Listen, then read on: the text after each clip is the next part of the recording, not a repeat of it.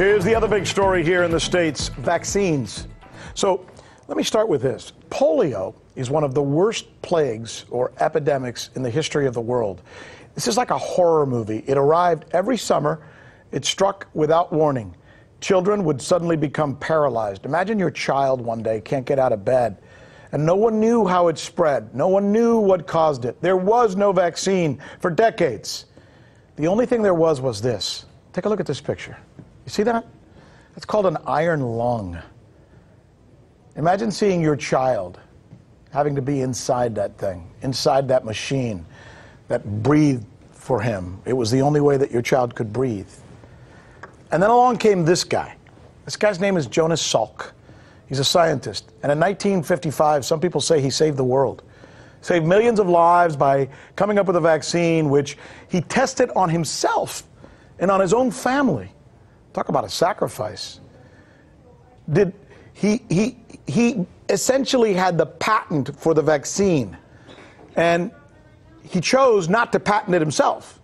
He chose not to become a multimillionaire because he didn't patent it. He wanted to give it away. And when he was asked, why don't you patent it? He famously answered with these words Can I patent the sun?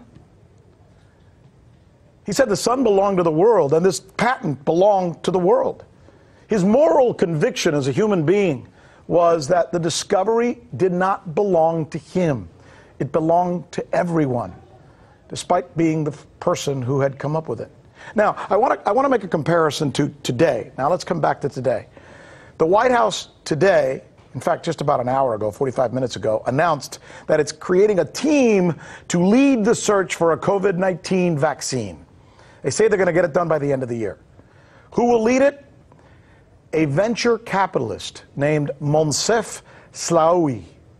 He comes from the world of big pharma, and he's going to be working alongside a four star general. Dichotomy? Difference? Joining us now, George Galloway, former member of the British Parliament.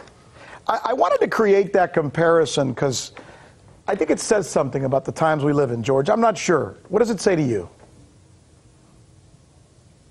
Well, the more they talked of that task force, the faster I counted my spoons, to paraphrase Oscar Wilde. I grew up in the time of polio, Rick. I was one of those given his injection for free. And uh, then it became a sugar lump, actually. And it did save the world. It certainly saved the children of the world.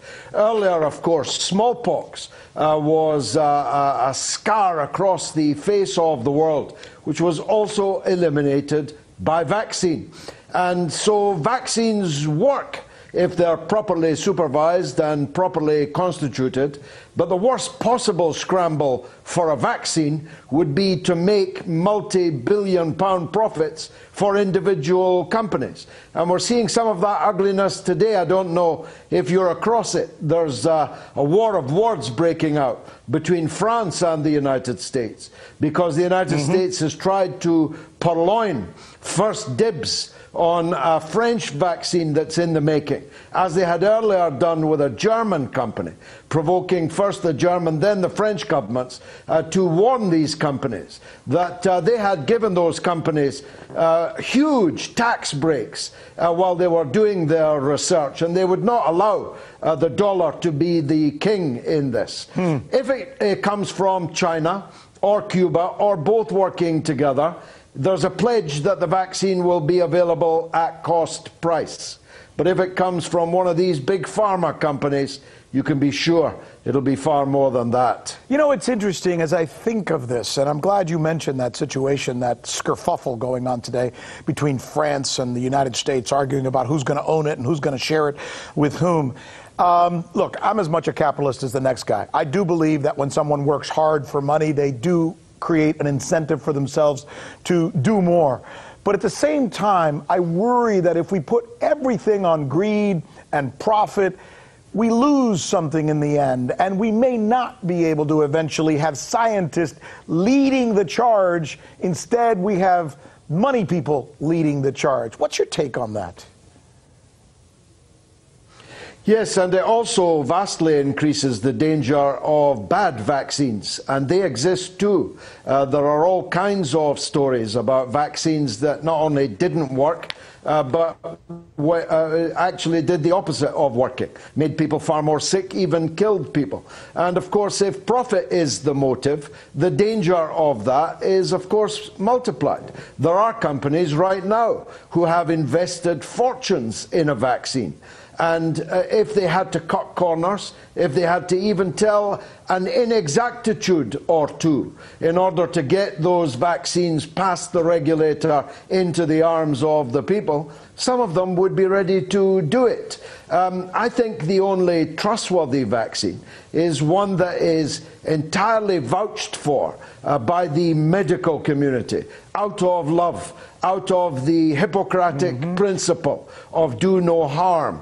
Uh, that's the only vaccine I would trust. And so, uh, good luck to the general and the big pharma guy.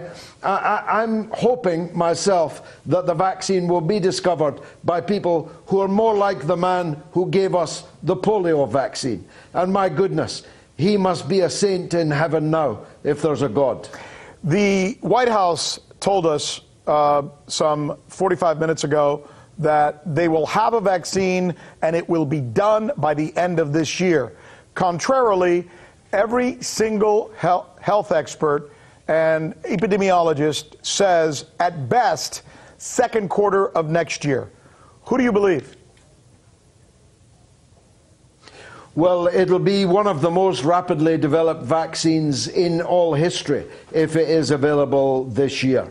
It's not, of course, impossible, and there's a lot of people in virtually every country working on this, all the best universities. And as I say, China and Cuba are probably ahead of the rest. Uh, but uh, will it be a safe vaccine by the end of the year? Because that's equally important in getting the vaccine, that it be the right vaccine, that it be a safe one.